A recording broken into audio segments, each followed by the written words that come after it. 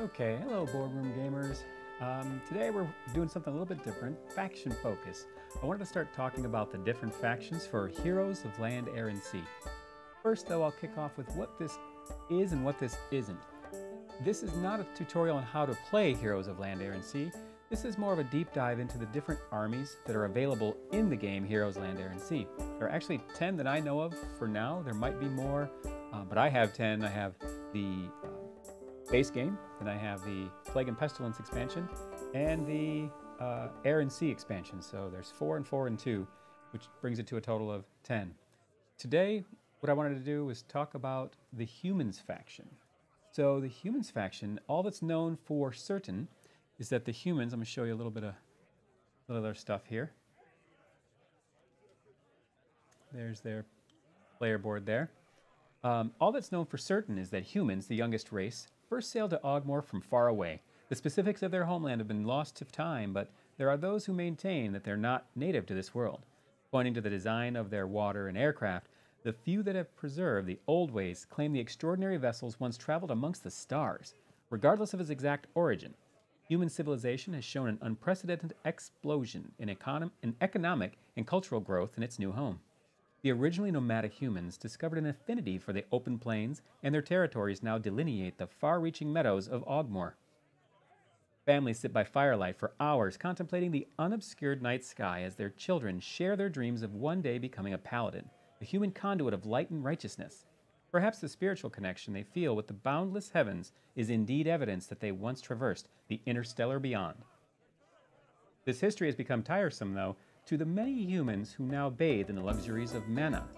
Goblets overflow in taverns with deep red wines artfully crafted from the finest combinations of sorcery and horticulture. Crops, as much as conjured as they are cultivated, and the bounty is often lush and plenty enough to invoke impressions of an agricultural empire in even the smallest settlement's fields. Before the smoke rising from sacked villages clouded Aughmoore skies, human farmers ate like kings, and their royalty feasted like the gods themselves. War has fallen on Aughmoore, and the life of the king has been claimed by the murderous Elven Shadow Guild. With no named heir to the throne, preparation for impending battle now falls to the people. As mysticism is retrofitted for war, citizens of the Human Alliance have reclaimed the old ways, harvesting their yield by sweat and stamina. Keepers of archaic naval tradition and members of the religious order alike have been called upon to defend the development of mankind. They strengthen their bodies and minds, ready to meet the contentious races that threaten their distinguished evolution with justice and swift, irrevocable retribution. Retribution. So that's right from the box. I'm not going to pretend like I made all of that up. And uh, Dapper Geek, thanks for hosting. I do appreciate that. Uh, that's right from the box. That's the lore for the humans. What I want to go into is there are three heroes for each faction. There's going to be, uh, this particular faction, there is a paladin, a mage, and a swashbuckler. I'm going to show you uh, some of those cards here. There's the Paladin.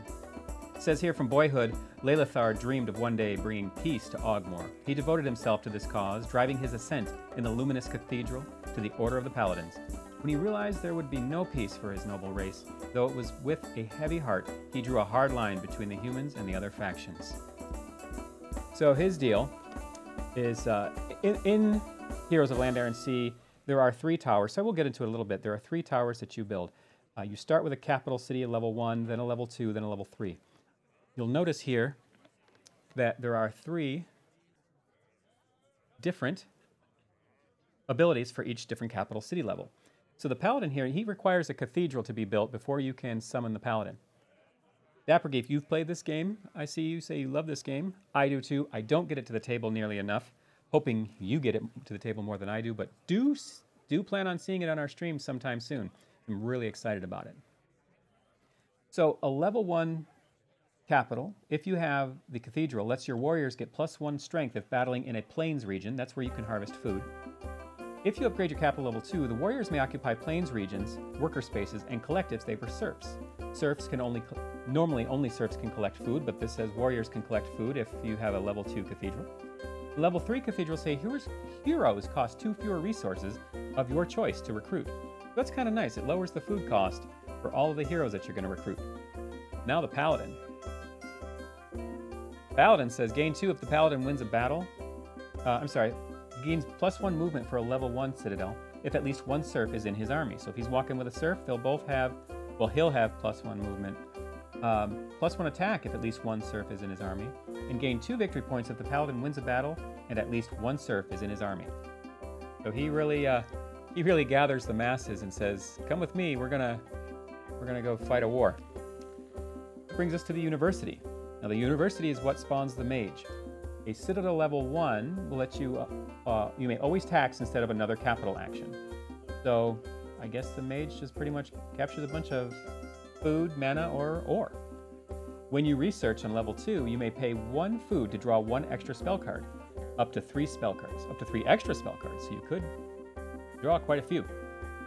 And then the level 3 Citadel says each plains region you control at the end of the game is worth an additional victory point that could be that could be a game changer for sure. Um, if you're harvesting all those plains with your palette or your warriors plus your serfs, getting all that food, spending less of it on your heroes because you have the level three cathedral, that could pay off in the end. Now the mage. It's Prince Orn. As headmaster of Aughmoore's most prestigious university of magic, Prince Orm's many noble pupils afforded him a nobility of his own. First to develop spells of luxury, Orn's reputation grew with the royal families. His incantations alone are known to spring an entire crop to bloom, but his real power lies in his manipulation of the dark magic of war. His abilities include with a level 1 university, when collecting resources, you may collect any resources from the mage's region instead of its normal resource. When the mage attacks you on level 2, when the mage attacks, you may pay any resources in any combination to cast spells. Super handy. Uh, I found myself lacking mana or, or whatever the cost is for spells. It's usually mana, but not always. I've, I've found myself lacking in the cost to play a lot of those spells. And if he can spend food as if it were mana, having the serfs and the warriors harvest the food, that could be huge. And level 3, when the mage attacks, combat spells cost half of their mana rounded down. So not only can he spend anything in lieu of mana, he spends half of it. The mage is pretty darn powerful for sure. That takes us to the tavern. What good human town? What uh, hum, human town will be good without a tavern? When an army containing serfs enters a plains region, gain one food. So just when they enter a plains region, you gain a food. You don't even have to wait to harvest it. So that could be interesting if your serfs um, got a little, like, moved a lot into plains regions. You could gather a lot of food as they move across the land. Level two, towers built in a plains region will cost two less uh, ore which is super nice because, as you know, the towers cost one per space away. So the farther they are away, the more they cost. But if you put it in a plains, it will cost two less. And last, if you have two serfs in a plains, in a if you have two serfs in a plains region, that region also collects two mana. Now, I've never had it where I had all three buildings and a level three capital.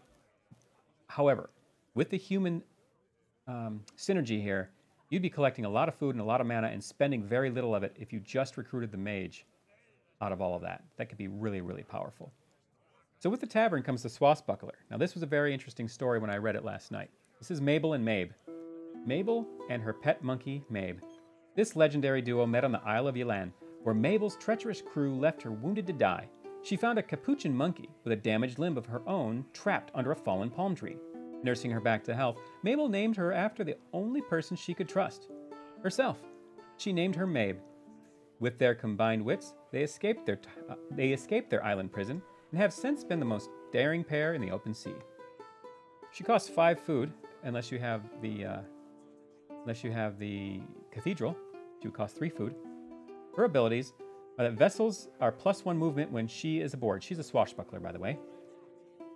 Her level 2 ability is plus 1 attack if on a vessel. And her level 3 is when the swashbuckler defeats an enemy vessel, she captures and pilots it until it's destroyed or she leaves it. Then it returns to the player's supply. So take their opponent's vessel, use it, destroy it, whatever you want to do, and then it goes to their supply, so they have to re-recruit it or build it again in a future action. That could be that could be bothersome as well. Uh, let's see the sea dock. I think I have their their sea vessel here somewhere. I wanted to show that off for the people at home. Oh yes, here it is. There's their little sea vessel. The sea dock. This galleon collects two food if in a sea region. Boy, these guys collect a lot of food. I mean, humans eat a lot of food. That's level one. Level two, when a sea region, when in a sea region, the galleon may start a battle with units in an adjacent region, gain one strength for that battle. This includes attacking land units from a sea region. So they could pretty much start a fight in a land region while this is in a sea region.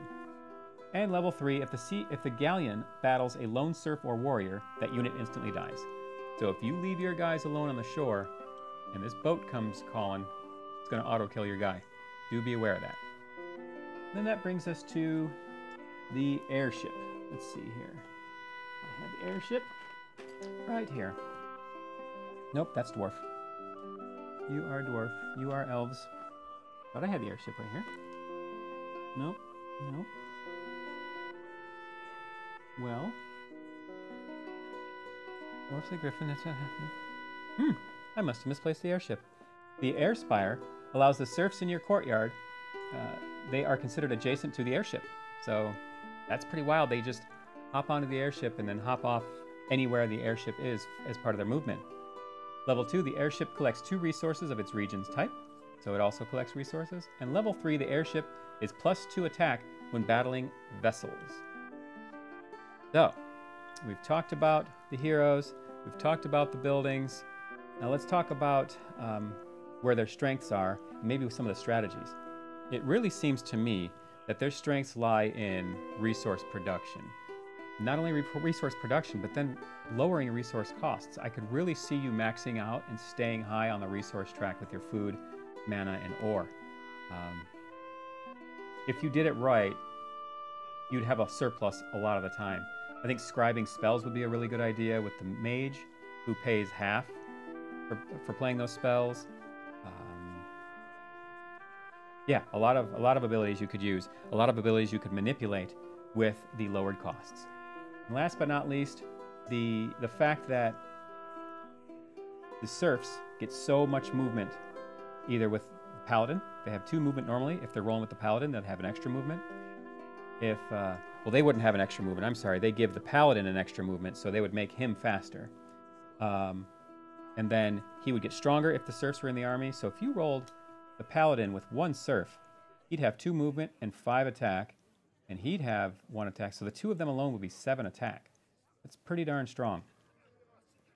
And then the airship. The airship being allowed to collect resources, which we kind of talked about, the ability for the humans to collect resources is phenomenal. That's going to wrap it up for the humans uh, fo faction focus. I hope you enjoy what we brought to you today. And as always, we'll catch you at the next boardroom meeting. Bye, everyone.